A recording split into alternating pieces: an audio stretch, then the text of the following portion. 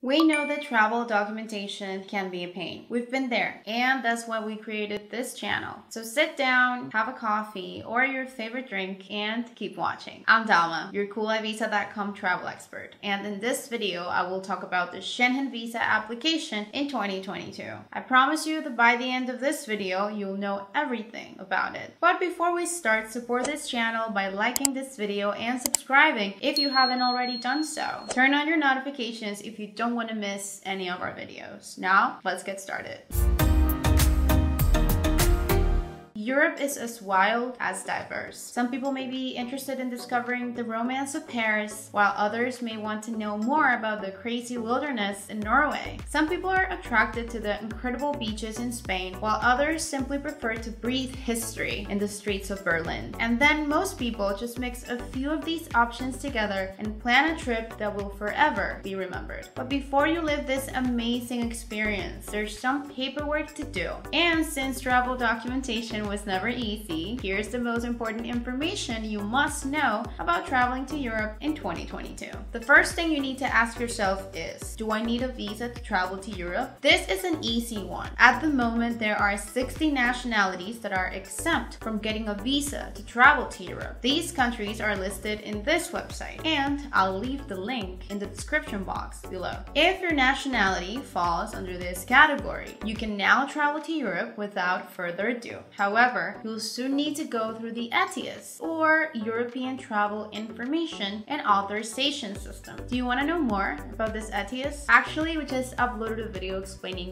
everything about it. Go check it out. If your nationality is not listed in the visa waiver program, that means you'll need to apply for a visa. Follow these steps in order to do that. Step number one, find out which Schengen visa type you need. It depends on the purpose of your visit. Most people will just have to apply for the tourist visa, but there are other visas, such as business visas or visas for medical reasons. If you're looking for the correct type of visa, you can click over here. Step number two, find out where you need to apply. First thing you need to know is what your destination country is. If you're only visiting one country in Europe, then it's pretty easy. But if you want to travel around Europe, your destination country will be the country where you will spend most of your time. If you're spending the same amount of days in each country, then your destination country will be the first country you visit. Now that you know what your destination country is, then you will have to file your Schengen visa application at their embassy, one of their consulates, or any other center that your destination country has outsourced visa submission to. Step number three, book an appointment. Most countries give you the chance to book an appointment online. In others, you'll need to book the appointment in person at the place you found in the previous step. Due to the time that Schengen embassies need to process a Schengen visa application, you'll need to do this at the right time time. The earliest you can file a visa application is 6 months before your trip, and the latest is 15 days before you intend to travel. We recommend that you have your visa appointment at least 3 weeks before your trip. Step number 4. Fill out the application form and gather the required documents. Before you go to the embassy, we recommend you to download the application form and fill it correctly and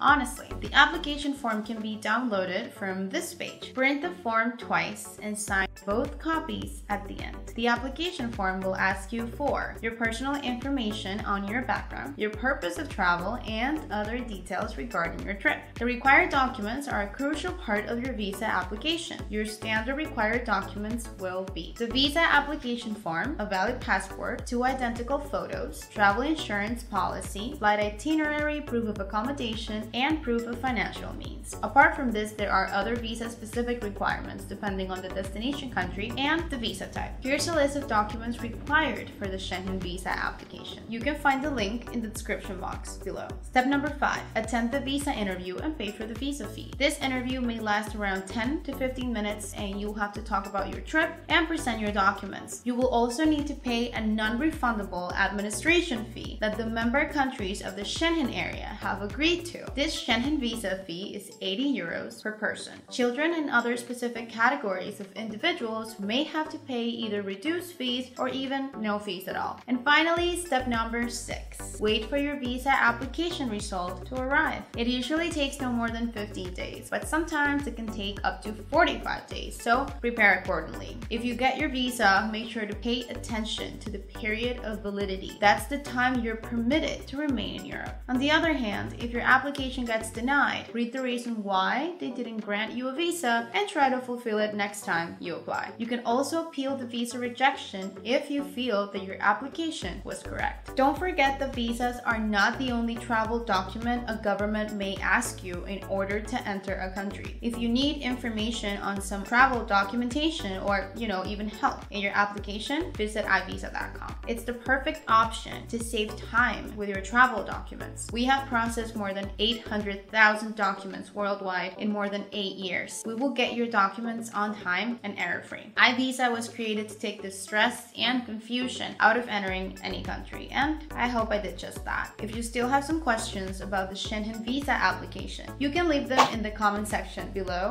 and I will get back to you ASAP. I'm Dama, your cool travel expert. Make sure you support us by liking this video and subscribing to our channel. You can also click on the bell to turn on your notifications. And that was it for today. I'll see you in the next video. Safe travels.